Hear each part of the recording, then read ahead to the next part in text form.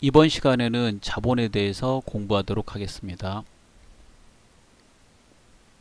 예, 자본은 기업의 자산에서 부채를 차감한 후에 자녀 지분을 말합니다.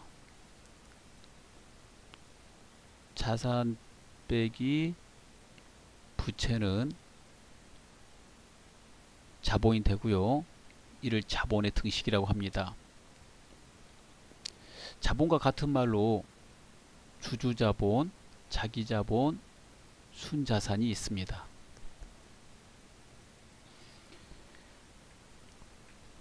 이러한 자본은 크게 자본거래 자본과 손익거래 자본으로 구분합니다. 자본거래 자본은 증자나 감자를 통한 거래에서 발생되는 자본을 말합니다.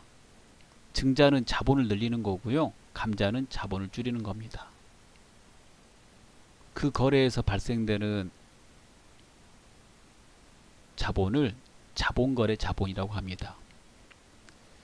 해당되는 내용으로 자본금, 자본여금, 자본조정 항목이 있습니다. 손익거래 자본은요. 수익 비용과 관계되는 거래에서 발생하는 자본을 말합니다. 자본거래가 아닌 나머지 모든 거래를 손익거래 자본이라고 합니다. 우리가 기초자본에 수익을 더해서 수익을 더하고 비용을 빼서 기말 자본을 구합니다. 즉 수익은 자본을 증가시키는 거고요. 비용은 자본을 감소시키는 겁니다. 이 수익과 비용은 결산 시에 소멸이 돼서 그 차액이 결산 시에 수익과 비용의 그 차액을 구하고 소멸시키거든요. 그 차액을 자본으로 옮긴 다음에 다음 연도로 이연해요. 그 차액을 자본으로 옮기고 다음 연도로 이렇게 이호시키거든요. 넘깁니다. 그래서 수익과 비용은 자본에 이제 포함되는 거죠. 그래서 그런 거래를 손익거래라고 자본에서는 말을 하는 겁니다. 한국 채택 국제 회계 기준에서 자본은 크게 세 가지로 구분합니다. 납입 자본, 이익여금, 기타 자본 구성 요소로 구분을 합니다. 각각 항목에 납입 자본은 자본금, 주식 발행 초과금이 있고요. 이익여금에 이익여금에는 이익준비금, 임의적립금, 미처분 이익여금이 있고 기타 자본 구성 요소에 기타 자본 잉여금, 자본조정, 기타 포괄 손익이 있습니다. 한국 채택 국제회계 기준보다 좀 더 작은 회사가 쓰는 기준에 일반 기업 회계 기준이 있는데요. 일반 기업 회계 기준에서는 자본을 자본력, 자본금, 자본여금, 자본조정, 그 다음에 기타 포괄 손익 누계액, 이익잉여금으로 구분합니다. 이 구분하는 방법이 공부할 때는 상당히 편합니다. 그래서 교재는 자본금, 자본여금, 자본조정, 기타 포괄 손익 누계액, 이익잉여금 순서대로 집필했고요. 그 순서대로 공부하도록 하겠습니다. 기타 포괄 손익 누계액은 한국 채택 국제 회계 기준에서는 기타 포괄 손익이라고 합니다. 그래서 학습은 이제 그런 방향으로 할 거고요.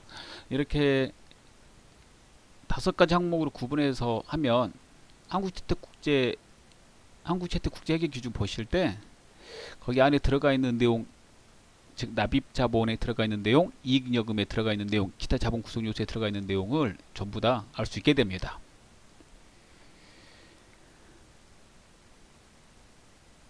첫 번째 개인기업의 자본부터 보겠습니다. 개인기업은 사업주 자신이 모든 기업에 자금을 내고 운영하는 회사이므로 즉 기업 실체와 기업주가 동일하므로 자본과 관계되는 계정은 자본금 하나로 처리합니다. 다만 어, 회계연도 중에 기중에 사업주가 개인적으로 사용한 것, 즉 가사 등의 목적으로 개인적으로 사용한 경우 사용할 때마다 해당되는 금액을 자본금에서 빼게 되면 자본금의 전체 금액을 파악하는 데 어렵기 때문에요. 이럴 때는 인출금으로 처리했다가 결산 시에 해당되는 인출금이 다시 들어오지 않으면 자본금에서 차감하는 해당되는 금액만큼을 자본금에서 빼는 그런 방식으로 관리합니다. 그래서 실무에서 회계연도 중에 사업주가 가져간 거는 인출금으로 처리를 합니다. 그리고 결산 시에 자본금을 대체하고요. 음, 개인기업은 기업주가 모든 돈을 냈기 때문에요. 배당이나 이런 것들은 없습니다. 그래서 간단해요. 어, 개인기업의 그 자본을 계산할 때는요, 기초자본의 총수익 도하고 총비용은 뺍니다. 수익이 비용보다 크면 단기순이익이라고 그러고요, 비용이 수익보다 크면 단기순손실이라고 그래요. 즉, 단기순이익은 더하고 단기순손실은 이제 빼는 거죠. 그리고 추가로 출자한 돈이 있으면 더하고, 그 다음에 가져간 인출금이 있으면 빼서 기말 자본금을 구합니다. 그래서 보고서에 자본금을 하나로 처리한다는 거죠.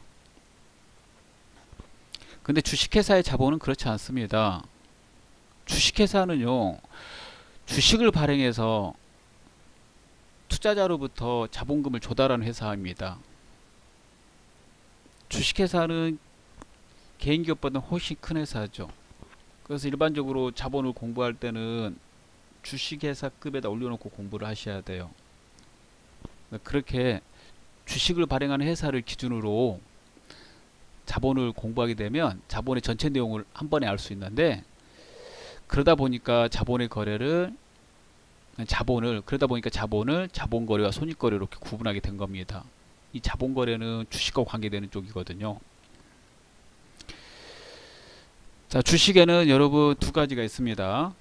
주식을 이제 발행하는 걸 그리고 여러분 증자라고 그러고요. 그러니까 주식을 이제 소각하는 것은 이제 감자라고 그래요. 그러한 주식에는 이제 두 가지가 있는데요. 어, 보통주와 우선주가 있습니다. 아, 둘은 이제 엄연히 차이를 가지고 있는데요. 예, 보통주는 해당되는 주식 한도로 그 주주 주주들이 그 주식을 가지고 있는 주주들이 책임을 가지고 있습니다. 책임을 가진다는 것은 의결권을 가지고 있다는 말이에요. 우선주는 그러한 의결권이 없어요. 그래서 우선주란 말을 왜 썼는지 좀 말하면요. 그래서 차이점 좀 말하면 우선주는 그런 의결권이 없어요. 의결권 없음. 그래서 그런 유한 책임을 지지 않는다. 이런 거죠. 예. 둘은 다 배당을 받아요. 얘도 배당받고 얘도 배당받아요. 배당에 대해서는 우선주가 더 우선적인 권리를 가지고 있어요. 보통주보다. 이렇게. 이렇게, 이렇게. 이거 가지고 있는데 그 얘는 권리가 제한된다고 나와 있죠. 그거는 이제 책임 없다는 말이에요. 의결권이 없다 이런 말입니다. 이렇게 말하면 좀 더 쉬우실 거예요. 자 그러면 사업을 하는 회사에서는 보통주나 우선주를 발행하겠죠. 보통주를 발행하면 회계 처리할 때 보통주 자본금 이렇게 처리하고요. 우선주를 발행하면 우선주 자본금 이렇게 처리합니다. 그리고 자본금은 항상 액면 금액으로 장부에 쓰도록 되어 있습니다. 자, 우리는 이제 주식회사의 자본 가지고 공부해요. 개인기업의 자본은 공부할 게 없어요. 예. 그래서 그 자본금, 인출금 이렇게 말아두면 개인기업은 끝나는 거고 우리는 주식회사의 자본을 가지고 하는 거고 주식회사의 자본은 그 거래를 자본거래와 손익거래로 나누는데 자본거래는 이렇게 주식과 관련해서 증자, 감자 와 관계되는 거래를 자본거래라고 그러고 손익거래는 수익비용과 관계되는 그 거래를 손익거래라고 한다. 이렇게 알아두시면 되겠습니다. 주식회사에서 주, 어, 주식을 이제 발행하게 되는데요. 그 주식 중에서 이제 보통주가 있다고 그랬죠. 예, 주당이익이라는 말은 보통주 한 주가 가지고 있는 이익, 수익력을 말합니다. 주당이익이 크면 클수록 좋은 거죠. 일반적으로 주당이익하면 기본 주당이익을 말합니다. 기본 주당이익에 희석 주당이익도 있습니다. 기본 주당이익은 보통주 단기순이익 나누기 가중평균 유통 보통 주식수로 합니다. 주로 경영성과 비교 시 유용하고 주가 수익률 기초자료로 사용합니다. 가중평균 유통 보통 주식수라는 말은 보통주 발행하고 또 추가로 이렇게 발행할 때 그 평균 낸 그 주식수를 말합니다.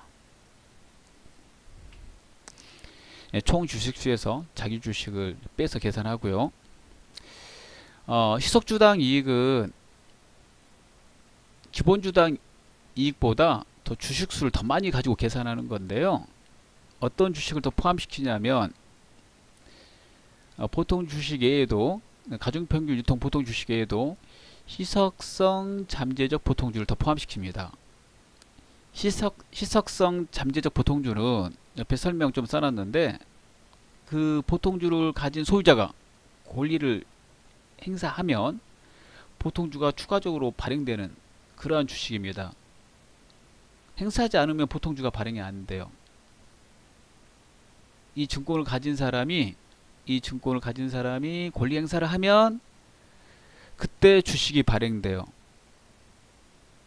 주식이 더 많이 발행되니까 그 주식 발행으로 인해서 주당 이익과 기본 주당 이익이 감소되죠. 즉 감소된다는 말은 희석된다는 거예요. 그래서 거기까지 포함해서 주당 이익을 구하는 것을 희석 주당 이익이라고 합니다. 그래서 그 식을 보면 기본 주당 이익은 보통주 유통 그 발행한 보통주 단기 순이익 나누기 가중평균 유통 보통 주식수인데 희석 주당 이익은 희석 단기 순이익 나누기 가중평균 유통 보통 주식수 플러스 희석성 잠재적 보통 주식수 두 개 더한 것까지 포함된 거죠. 이렇게 해서 계산한다고 알아두시면 돼요. 예. 일반적으로는 이제 주당 이익 하면 기본 주당 이익을 말한다. 이렇게 좀 알아두시고 자 그러면 본격적으로 하나씩 알아보도록 하겠습니다. 자본금부터 보도록 하겠습니다. 자본금은 우리나라 상법에 발행 주식 총수 곱하기 주당 액면 금액으로 하도록 되어 있습니다. 그리고 발행하는 주식에 따라서 계정 과목은 보통주 자본금, 우선주 자본금으로 각각 따로따로 회계 처리합니다. 액면 금액으로 쓰고 따로따로 보통주 자본금, 우선주 자본금. 평상시 아무 말 안 나오고 그냥 우리가 자본금을 이렇게 말하면 보통주 자본금을 말해요. 그리고 유상증자라는 말은 뭐냐면요. 주식을 발행하고 거기에 대한 주식 대금을 받는 걸 유상증자라고 합니다. 다음 페이지에 있는 무상증자는 주식을 발행을 하는데 거기에 따른 대금을 받지 않는 걸 말해요. 그래서 무상증자를 무상증자를 형식적 증자라고 합니다. 실질적인 자산의 증가가 없기 때문에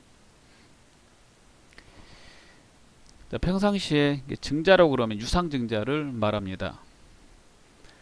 이제 주식 발행하는 방법을 보도록 하죠. 주식 발행에는 크게 세 가지가 있습니다. 액면 발행, 할인 발행, 할증 발행 세 가지가 있는데 액면 발행은 주식 표면에 써져 있는 즉 유가증권 표면에 써져 있는 그 금액 그대로 발행하는 걸 말해요. 할인 발행은 그 금액보다 적게 발행하는 걸 말합니다. 할증 발행은 더 크게 발행하는 걸 말하죠. 일반적으로 주가가 떨어지거나 사업 상태가 우리 사업 그 성이 좀 떨어지거나 그러면 할인 발행하고요. 그 다음에 주가가 오르면 우리 사업 환경이 더 좋아지거나 또는 우리 회사에서 판매하는 제품이 미래에 많이 팔릴 걸로 예상이 되거나 시장에서 더 많이 기대가 된다면 그럴 때는 할증 발행을 합니다. 발행할 때 할인 발행, 할, 할증 발행은 당연히 차익이 발생하겠죠. 싸게 발행하고 비싸게 발행하니까. 할인 발행 시에 그 차액은 주식 할인 발행 차금으로 처리하고요. 할증 발행 시에 그 차액은 주식 발행 초과금으로 처리합니다. 자 그리고 발행한 주식은 보통주 자본금, 우선주 자본금이라고 쓰고요. 일반적으로 주식 발행할 때는 금전 발행을 우선으로 해요. 그런데 현물 발행도 있습니다. 이거는 주식을 발행하고 금전을 받는 대신에 현물을 받는 걸 말하죠. 우리 회사가 금전을 받아서 혹시 현물, 즉 건물, 토지 이런 걸 살 거라면 주식을 발행하면서 현물로 받아도 되겠죠. 그런 경우 현물 출자라고 말합니다. 출자는 사업 자금을 마련하기 위해서 주식을 발행하는 것을 출자라고 하는데요. 주식을 발행하고 현물을 받았다고 해서 현물 출자라고 합니다. 현물 출자 시에는 제공받은 현물의 공정가치를 주식의 발행금액으로 합니다. 현물의 공정가치, 공정가치하고 유사한 말 시가가 있어요. 예를 들어서 우리 회사 액면가 천원짜리 주식을 주고요. 현물로 2천원짜리 현물을 받았다 그러면은 발행 금액은 얼마입니까? 그러면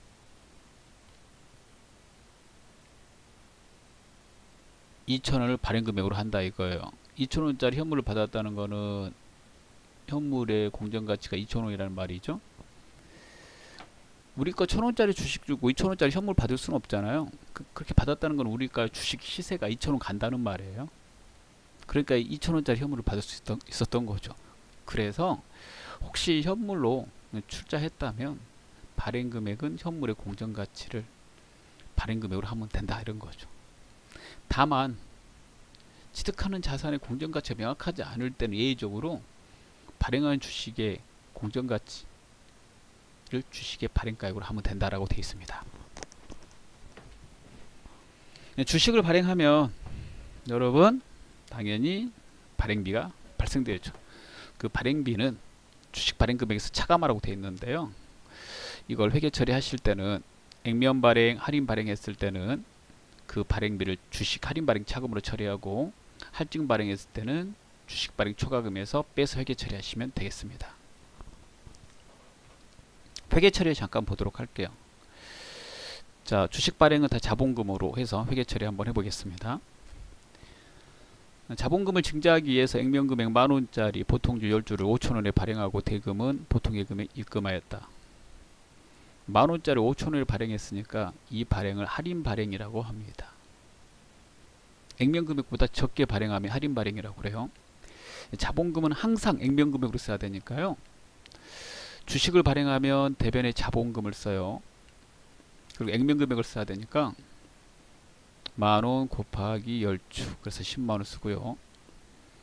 그 다음에 받은 돈은 발행금액으로 쓰니까 5천원을 발행했으니까 10주니까 5만원이 되겠죠. 그 차액은 주식 할인 발행 차금 이렇게 처리한다는 거예요. 만약에 만원짜리 2만원을 발행했다고 하면 그 차액은 주식 발행 초과금 이렇게 쓴다는 말입니다.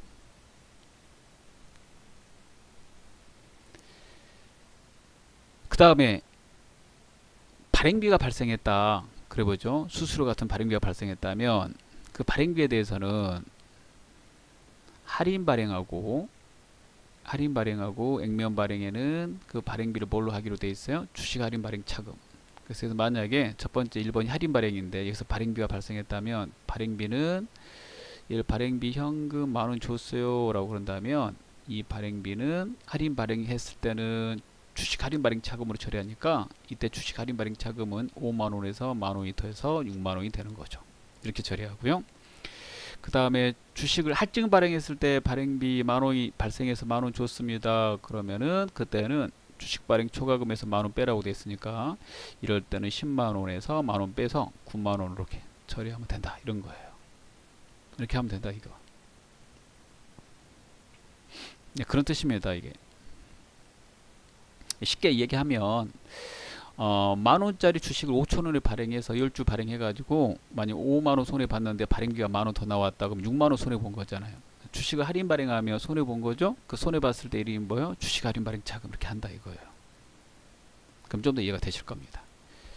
그래서 한번 액면 발행 하나 있는데 만원짜리를 만원에 발행했다 근데 만약에 발행비가 나왔다 그러면 이거 액면 발행하고 발행비 나오면 그때 발행비는 뭘로 하라고 그랬어요 주식 할인 발행 자금으로 한다고 그랬으니까 10만원 쓰고 받은 돈은 발행비 차감하고 받았다고 그랬으니까 99,000원 그 발행비의 이름은 주식 할인 발행 차감 이렇게 처리하면 된다는 거죠. 자, 그러면 첫 번째 그 자본금 끝났어요. 자본금에는 우선주 자본금, 아, 보통주 자본금과 우선주 자본금이 있다. 두 개.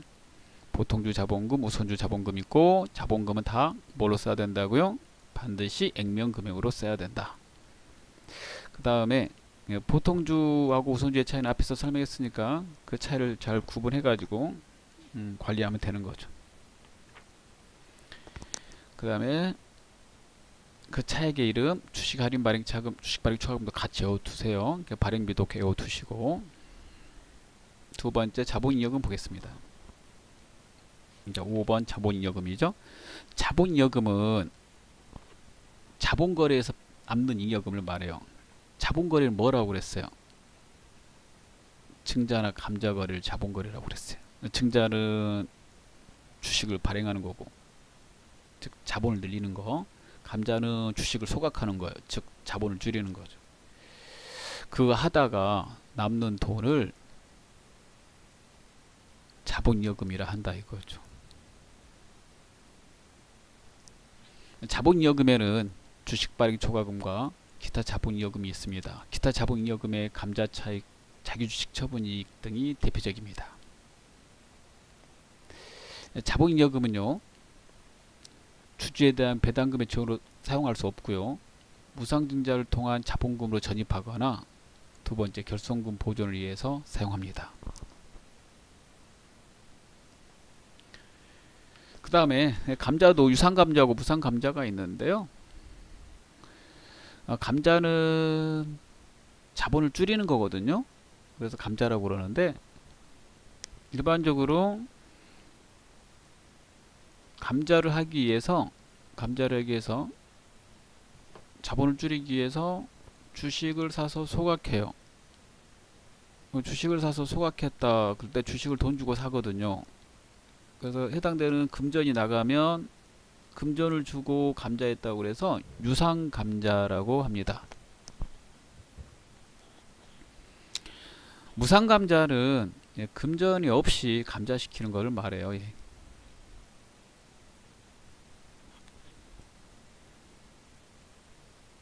자 그러면 하나씩 보도록 하겠습니다. 첫 번째 주식 발행 초과금 어디서 봤죠? 예, 저기 자본금에서 봤어요. 주식을 발행하면 자본금이라고 쓰는데 발행하다 보면 할인 발행과 할증 발행이 있다고 그랬잖아요. 그 중에 할증 발행 시에 그 차액의 이름 주식 발행 초과금이라고 그랬어요. 이 주식 발행 초과금은 주식을 발행하다가 남는 돈이거든요. 그래서 증자하다가 남은 돈이에요. 그래서 자본이여금에 속합니다. 남는 돈을 자본이여금이라고 그랬으니까. 이건 증자하다가 남은 돈이고요. 이게 감자 차익은 감자하다가 남은 돈입니다. 얘는 증자하다가 남은 돈. 얘는 감자하다가 남은 돈. 그래서 감자 차익. 얘는 주식 발행 초과금. 증자는 주식을 발행하는 걸 증자라고 그러니까.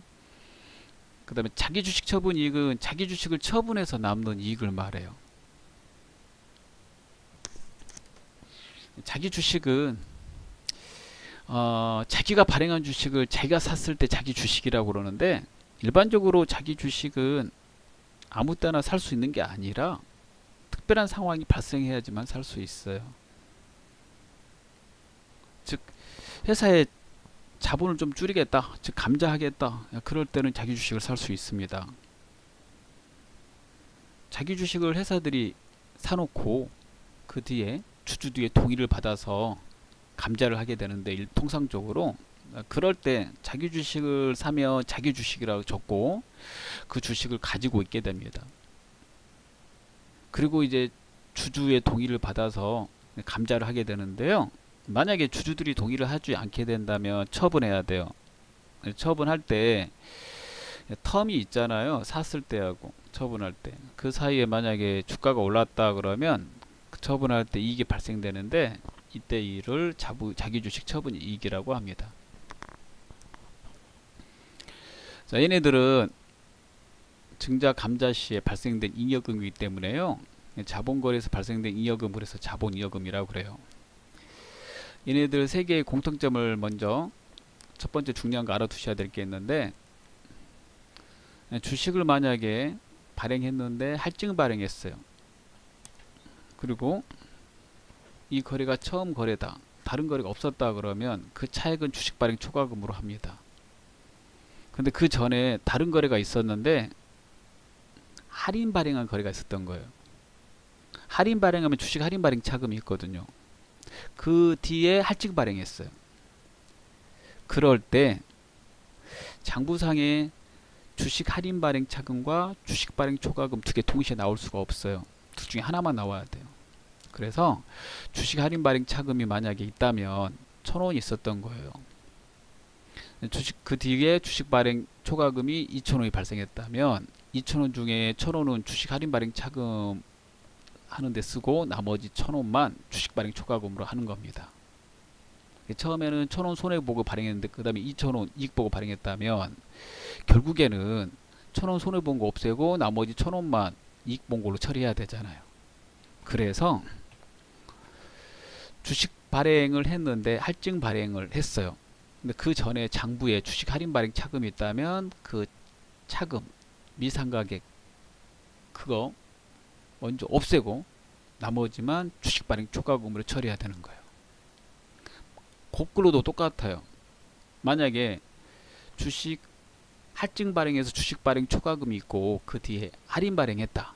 그러면 주식 할인 발행 차금으로 전부 그 뒤에 처리하지 않고 주식 발행 초과금 남은 게 있으니까 그걸 먼저 갖다 쓰고 남은 부분만 주식 할인 발행 차금으로 처리합니다. 서로 서로 상계해야 되는 거예요. 그래서 주식 발행 초과금은 주식 할인 발행 차금 상계하는데 있다면 먼저 쓰고 나머지 부분을 장부에다 기록하는 거죠. 마찬가지로 감자 차익도 그래요. 감자하다가 남은 돈인데 혹시 감자하다가 남지 않는 손해본 감자 차손이 있다면 이걸 먼저 상계하고 없애고 나머지만 감자 차익으로 처리해요. 둘 중에 그래서 하나만 남아있게 되는 거죠. 반대도 마찬가지예요. 먼저 감자 차익이 있었는데 그때 감자 차손이 발생했다 그러면 감자 차익 먼저 쓰고 나머지만 감자 차손으로 처리합니다. 자기주식 처분 이익도 그렇습니다.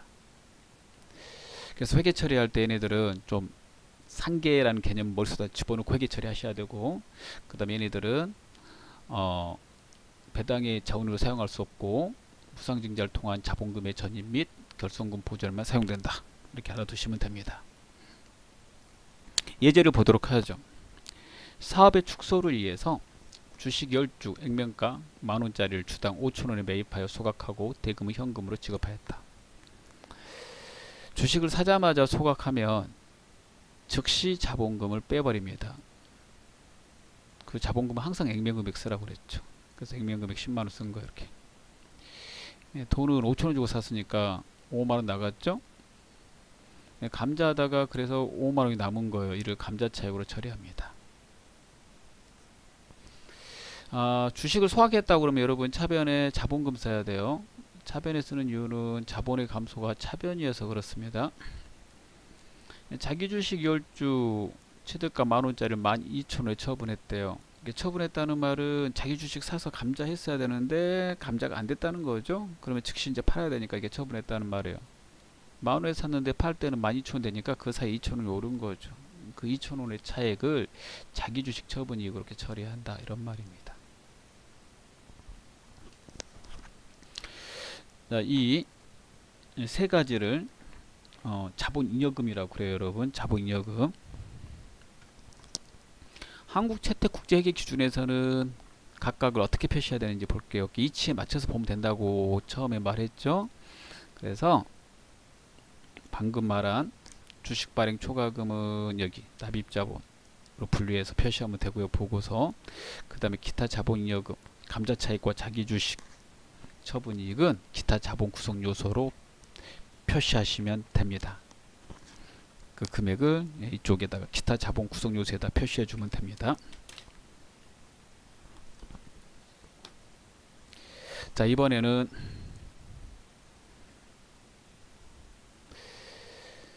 자본 조정으로 넘어갈 건데요. 아, 이게 동영상 강의가 길어지니까 여기서 끊고 그 다음에 이어서 계속 하도록 하겠습니다. 네. 여기서 끝내겠습니다.